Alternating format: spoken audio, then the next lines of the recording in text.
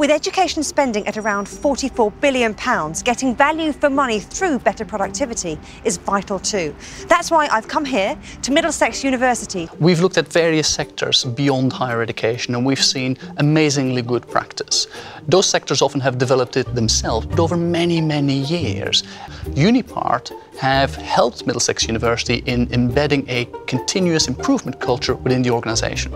Unipart have been doing this for the best part of 30 years, um, and we're gaining from that 30 years worth of experience from day one. Find out how you can join the productivity revolution at productivitypuzzle.com.